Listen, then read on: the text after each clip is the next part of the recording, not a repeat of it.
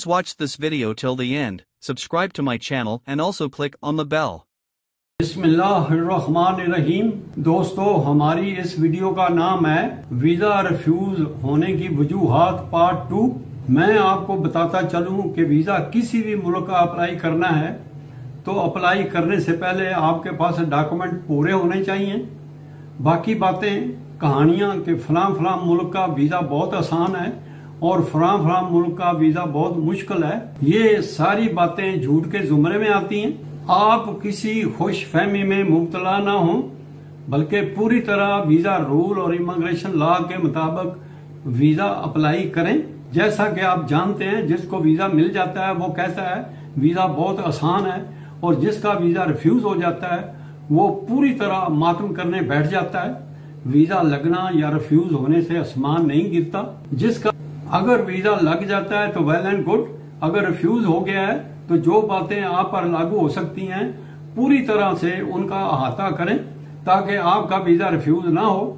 अगर आप किसी शिक पर पूरे नहीं उतर सकते तो फिर आप किसी क्वालिफाइड और तजर्बेकार वीज़ा कंसल्टेंट से रजू करें, ताकि आपके गेटअप और सेटअप यानी आपके हदूद दरबे का वीज़ा अप्लाई करने से पहले पूरी तरह से जायजा लिया जा सके। तो जब जब की कफियत में वीज़ा अप्लाई ना करें, बल्कि तसली से पूरे डॉक्यूमेंट साथ दें, वीज़ा लेना ना मुश्किल होता है, ना आसान। अगर आप वीज़ा रूल के मुताबिक डॉक्यूमेंट दें तो फिर आपके वीज़ा मिलने के चांस ज़्यादा हो सकते हैं। दोस्तों, आप अपने मिलने वाले दोस्तों से सलाह मशवरा ज़रूर करें, मगर हमारी दी हुई डायरेक्शन के मुताबिक वीज़ा अप्लाई करें। गलत तरीके से वीज़ा एप्लीकेशन देना कोई अकलमंदी नहीं होती। सोच समझकर हर पहलू को अच्छी तरह से एक्सप्लोर करके वीज़ा अप्लाई करें। अगर कोई बात समझ नहीं आती तो आप हमसे व्हाट्सएप पर रहा करें। और अगर आपको कोई भी मुल्क से बाहर जाने का मसला हो तो आप हमसे ज़रूर रजू करें। हमारी वीज़ा गाइडलाइन बिल्कुल फ्री है। अगर आप अपने वीज़ा एप्लीकेशन फॉर्म के किसी सवाल का जवाब नहीं देते तो आपका वीज़ा रिफ्यूज होने की वजह बन सकती है। हमेशा सीरियस बात को सीरियस तरीके से डील करें और अपने लिए मुश्किल पैदा ना करें। आप हमारी दी हुई डायरेक्शन पर कारबंद रहें क्योंकि गलत और ठीक सोच का आपस में मिलाप नहीं हो सकता और न ही गलत सोच कामयाबी के जुमरे में आती है। याद रखें, कोई बात भी हरफ आखिर नहीं होती।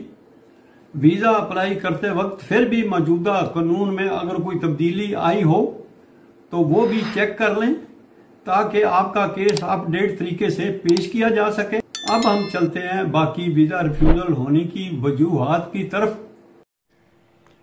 दरख्वास्त दहिंदा का सफरी मनसूबे की तफसील, दावतनामा और मुल्क के दौरे में कफील स्पॉन्सर की सीयत का सबूत ना देना।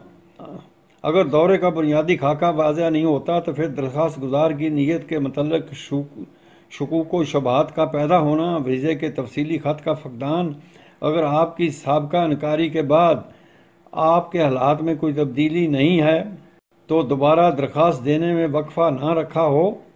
पिछले वीज़ा इनकारी को जहर ना करना, अपनी तमाम बचत ख़त्म करना या अपनी महाना आमदनी से ज़्यादा खर्च करना, आपकी हकीकी मुलाजमत, मुश्किल ज़रिया आमदनी का फकदान होना। आपने बावर करवाना कि आपने सफ़र के लिए फ़ंड की बचत की है और आप किसी और से रकम नहीं ले रहे, वरना वीज़ा रिफ्यूज़ हो जाएगा। आपके बैंक अकाउंट में बड़ी दस, गैर दस्तावेजी रकम, अपने घरेलू मज़बूत तल्लक़ात का फकदान, आपके वतन वापसी के लिए आपकी ज़िम्मेदारी काबिल एतबार नहीं। छुट्टी की मंजूरी के खत का फकदान दरख्वास्त दहिंदा के पास दुरुस्त दस्तावेज़ नहीं है धोखाधही या जैली या गलत दस्तावेज़ पेश करना। दरख्वास्त दहिंदा जानबूझ कर दस्तावेज़ की मालूम या किसी मुजरमाना रिकॉर्ड को रोकता है। ओवर स्टे या व्यस्ता सफ़र में गलत दस्तावेज़ पेश की। वीज़ा जवाबत की तकमील करने में नाकाम होना, स्पॉन्सर के साथ नाकाफ़ी तल्लक का सबूत आपने किसी महर से मशवरा नहीं किया, बल्कि दोस्तों को मशवरे पर अमल किया है। जो वीज़ा रिफ्यूज़र से नावाकफ़ हैं, लिहाजा वीज़ा रिफ्यूज़ हो सकता है। गलत नामाइंदगी, गलत रिप्रजेंटेशन, मादवी हक़ का अदम इंकशाफ तावन में नाकामी, कौमी सलामती के लिए ख़तरा, इमाग्रेशन हिस्ट्री का ना होना, गलत तबी बुनियादें, जराइम से मतलब सरगर्मी, मरूफ मुजरमों की सोबत गैंगों के साथ शामिल होना, जेर अल्तवा कानूनी चारा जोई छोड़कर वापस अपने मुल्क आ जाना, ममनुआ तंजीमों के साथ रबता नाकबिल कबूल तर्ज अमल, जंगी जराइम, वीज़ा ऑफिसर के साथ जानबूझ कर मुबासा करना इमग्रेशन कंट्रोल में गैर कानूनी मदद करना, रहने के लिए शरात की तकमील करने में नाकामी, अवामी फ़ंड से स्पॉन्सर का वसीला कानूनी चारा जोई के अखराज अदा करने में नाकाम रहना दरख्वास्त तैयार करते वक्त वीज़ा अनकारी की वजूहत की वजाहत न करना, दौरे का मकसद मशकूक होना दरख्वास्त दहिंदा का मशकूक अरादा, सफ़र के लिए नाकाफ़ी फ़ंड, तफसीली कवरिंग लेटर का फकदान, सफरी तारीख का फकदान, आपके बैंक अकाउंट में तनख्वाह जमा ना होना करदार तर्ज अमल का फकदान जराइम करना जिससे शदीद नुकसान होता है। दोस्तों, अगर आपने हमारे चैनल को सब्सक्राइब नहीं किया तो सब्सक्राइब करें और बेल पर भी क्लिक करें ताकि आप हमारी इंदा आने वाली वीडियो को भी आसानी से देख सकें। अगर हो सके तो हमारी वीडियो को लाइक और शेयर भी करें। शुक्रिया। खुदा हाफिज। Please subscribe to my channel and also click on the bell.